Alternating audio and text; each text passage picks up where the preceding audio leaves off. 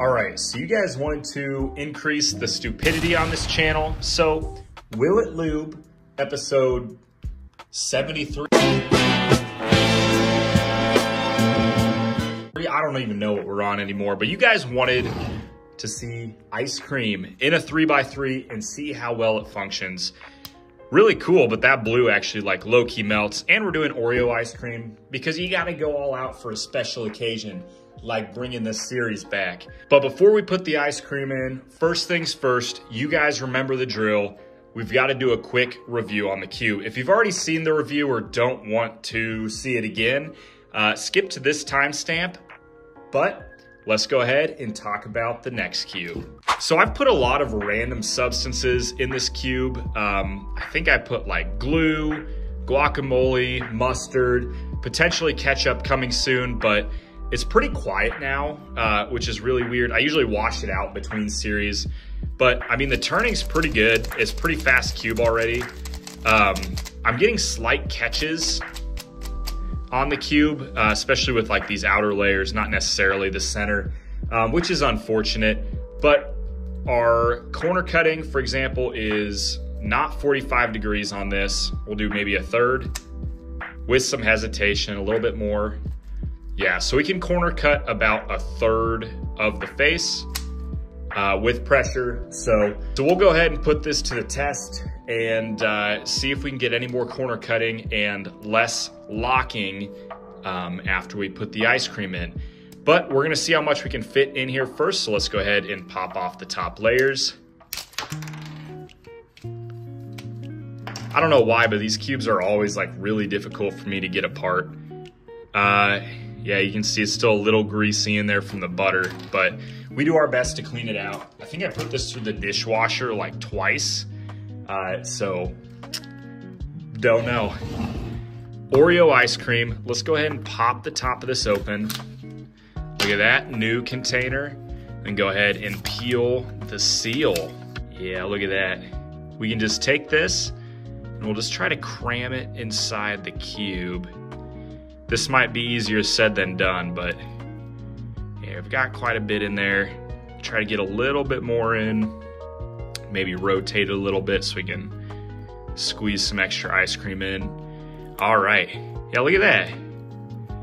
So we can turn. Uh, this is pretty full though. Let's put these pieces on and then put some more in the other side. Look at that, like a glove. Next corner, and then the edge piece. I've already got some chocolate chip up on my hands, but all right. So pretty, uh, pretty slow already, so we'll see. Uh, but we got to put more in first before we do the full, like, in-depth look at this. Yeah, you can see the ice cream kind of coming up through the uh, through the bottom there. Let's go ahead and put some more. Uh, let's get some of this top layer. Looks a little bit softer. That's a lot. Uh, okay. See if we can just cram that in there. Maybe we can get a little bit more. All right. Not bad. All right, we'll go ahead and put the ice cream to the side and then get our pieces on to the cube.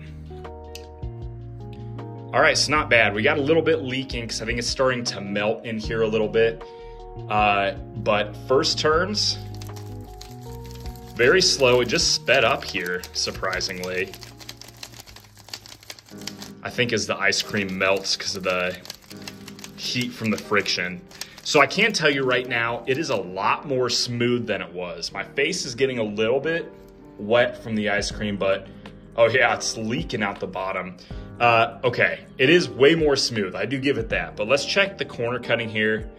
We'll just start with normal, one cube. Okay, fine. A third. Hesitant again. Let's see if we can get half. I don't think it's gonna happen, guys. All right, so we can still cut the same. Uh, it is a lot smoother, but kind of in exchange for that, the cube is a lot slower now. But speeding up as the uh, ice cream kind of uh, melts here. Before this completely melts, let's go ahead and pause for a second and do a quick solve and just kind of go from there. All right, so I can't find my timer uh, and my hands are super sticky, so we'll just mix it up and we'll uh, throw a timer on the screen uh, in post-production so we can kind of get more of an accurate time. All right, let's uh, go ahead. So uh, the ice cream's definitely not helping the exterior of the pieces. Uh, my hands are slipping all over the cube, but and I do realize this is also a slow solve on my part.